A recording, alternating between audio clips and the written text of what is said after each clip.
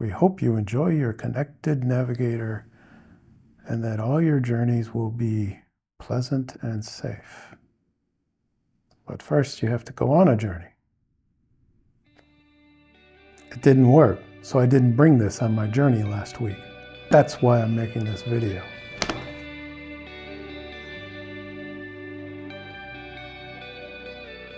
Hi guys, nothing to prove here. Yeah, I'm sitting at my dining room table and it's the first time I've ever done an unboxing, although I've never unboxed this before. This particular one, I have unboxed something, the first box of this box. Yeah, I think that's how you say it. So I just got home from the BMW dealership and I returned the old Navigator. Oh, you got a nice little, oh, oh, love that sound and that feel. Nope, doesn't smell. Let me put this over here. And yep, I have the brand new communicator. It says BMW Motorrad right there. Huh. This, pardon me guys, this is the first time I've ever done an unboxing of any kind or any sort. So I have no idea if this camera is gonna work or if that camera is gonna work better. Who knows? I'm a little upset with BMW because, as most of you guys know, last week I rode down to the Black Forest to Touratech headquarters with my GS and I sat down on Sunday night. So I'm leaving Monday morning for the Black Forest. Sunday night I sat down with the other ConnectedRide navigator, with the other navigator, and I started, oh, I got to put in some addresses. I got to move some stuff over from my cell phone, what I'm filming with right there. And then it locked up on me. I'm leaving in less than 12 hours for the Black Forest, and it locks up on me. Nothing. Just came up to the main screen, nothing. I couldn't do it. I couldn't even shut it off. The only way it went off is when the battery died, and then it went dead. So I was in a scramble. I was ticked off. Thank God for Quad Lock. They have the uh, inductive charger and also the, this thingy and then the ball mount. I could just quickly mount this and then plug it in right there to the USB connection. And then I could still use that or this with my smartphone on here and then navigate via that down to Touratech headquarters on Monday morning. So thank you, Quad Lock. Uh, they make great stuff. Stuff, not stuff like this. okay, so that's why I have this. Uh, this is stress relief with plenty of stress relief pellets so that, you know, you get the point. Okay, so now let's get into this. I just took that one layer off. Now let's take the other one off, the, the back plate off, so that I can put in, oh, look at all this stuff. Oh, I got a nice bag. Yeah, I knew this because I did this four months ago. Ah, this is what I want right here. The screwdriver. So this little screwdriver, and it's nice, they give you two USB-C to USB-C and then USB to USB-C. However you want to charge it. And the uh, getting started is, that's it. uh, yeah. Screw, unscrew this and then put the SIM card in and okay, yeah, I have my SIM card here, so let me do this, shall we? This is useless. I don't know why they always include this. This is for idiots. If you read the warnings, you're an idiot. I'm sorry. I hate to say that. Uh, that's the disclaimers. Okay, now let's do this, shall we? Let's put this little tiny SIM card in this thing, and then I will turn it on. This is the first time doing this. There we go. And there we go. Take that off like that. rechargeable lithium polymer battery. So what I need to do is take this off.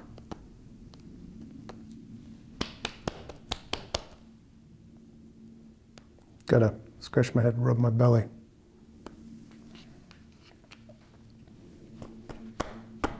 There we go. Now the battery come, came out. Now the SIM card slot is right in there like that. So I take that out. And then I put this in here like this.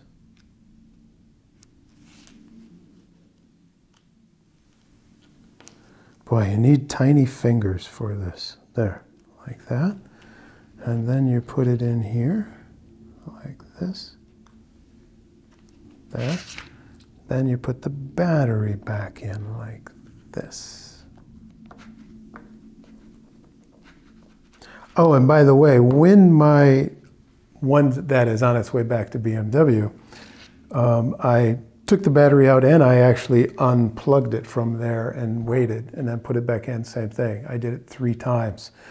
And uh, it's still locked up on the main screen. And so then I took the SIM card out, same thing, still locked up. This was all Sunday night. I, I was panicking. I'm leaving in less than 12 hours for a three day motorcycle trip using this navigation. Uh, and so what happened is, is I dropped this off last week, Thursday. Today is the 17th, so I don't know what date that was. And uh, told him what the problem was, and uh, the head mechanic there, thank you, Christian, there, he said, I'll see what BMW says to do about this, because I had a charge, and I'm like, look, and he just looked at it and went, What is that? And I'm like, I don't know, you tell me. and he goes, Hmm, okay, I'll have to sit down and give it to my tech and figure out what they're going to do with it and then see what BMW says to do about it. Uh, so then I talked to him this morning and he said that, uh, okay, BMW had a little checklist of things to do to my old unit that I brought to them last week, Thursday. And they did them and nothing. And then BMW said, okay, send it back to us. And I said, so then what's the reason? What did BMW say is the problem? And he goes, they wouldn't answer that question because he asked them.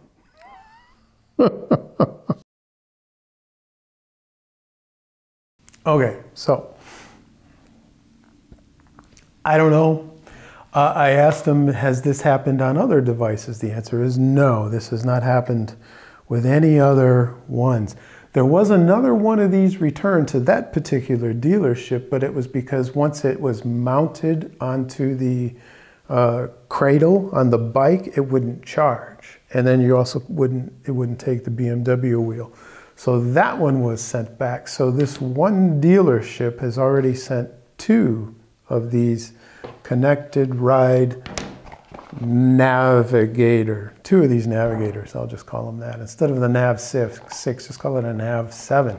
Although this supposedly is not made by Garmin. It's made by BMW.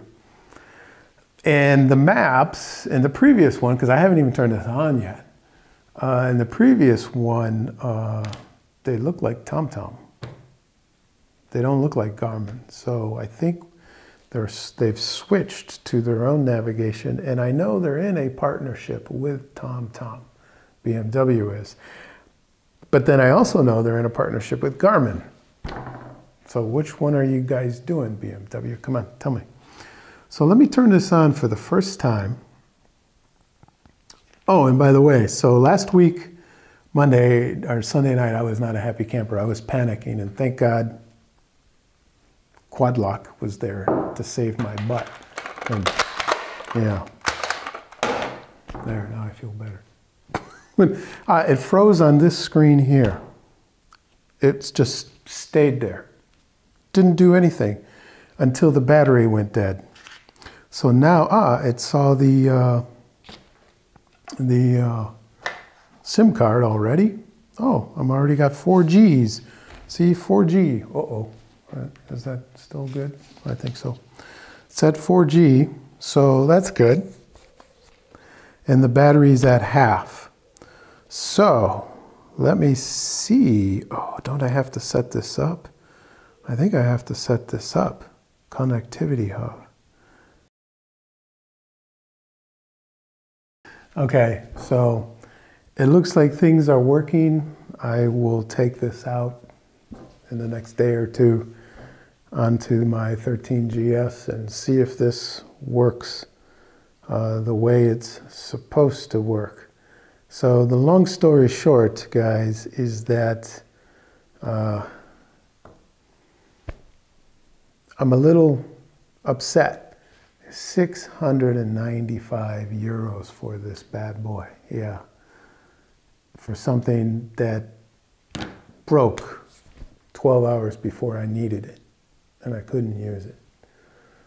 So, uh, and the only answer I got from BMW is no answer. Send the unit back, give me a new one. That's not an answer. That's uh, when you spend that kind of money. I mean, uh, look at the Garmin XT2, 407. And I've never had a problem with the Garmin. I have it in the cabinet right behind me that I always use on my RT. So I thought I would use this on the GS because it has the cradle that came with it. I thought it would be fine. I'd never mounted the XT. Now I should have mounted the Garmin XT onto the GS. Lesson learned, huh? Maybe I should do a video, Garmin XT versus this. Ooh ideas for videos. All right, guys. Uh, this is just a short video, and uh, I'm frustrated, not only with this, but also with my 13GS. I'm going to do this six month uh, owner review coming up here shortly, so, and I will express some of those frustrations. All right, guys. I hope you've enjoyed this little short video. As always, guys, ride safe and ride like there's nothing to prove. Take care. Cheers. This is the second, this is the second time I'm opening this box. Wait, no, no, no. I haven't opened this box yet. I, have opened this, the other box once. Now I'm opening this box. Okay, so this is the first time I'm opening the second Navigator.